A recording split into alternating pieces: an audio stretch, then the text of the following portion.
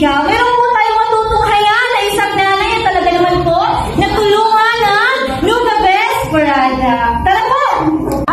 Anyo nga sa iyo mga kanuga.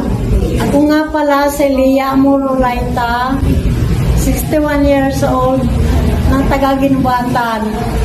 Ako po dati may ano, may mataas ang sugar ko, tapos mataas ang cholesterol. Tapos high blood po ako. Kulang naman din ang kamay ko. At saka pa, pagkahirap po. Kasi yung ginagawa ko dati, hindi ko na ngayon magawa. Mga sa, ba- sa bahay, naglalaba, lahat na gawain sa bahay, ako gumagawa.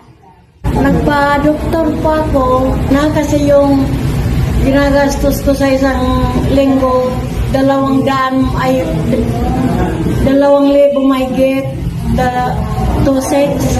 May nagsabi sa anak ko na kung gusto para wag ma tumaas yung ano ko buhay, pumunta daw ako sa Noga Base. Nung pumunta pa ako dito, samahan pa ako ng asawa ko. Pagdating dyan sa may hagdan, inano ako, pinuhat ako ng asawa ko dito hanggang dito sa Noga Base. Tapos lima-lima yung kasama ko. Apat yung anak ko, isa, isa ang asawa ko, yun ang nagsama sa akin dito.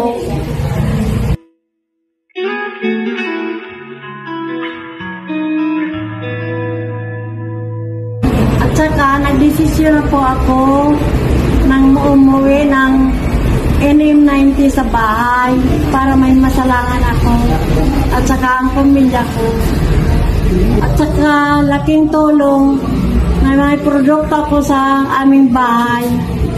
Yun ang nakapano ng ano ko, sakit. Tapos ngayon, nakaramdam na ako ng kagaanan sa buhay.